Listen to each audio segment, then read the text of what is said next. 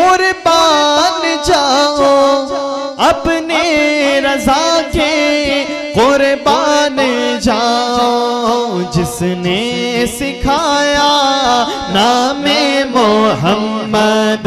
जिसने सिखाया नाम मोहम्मद।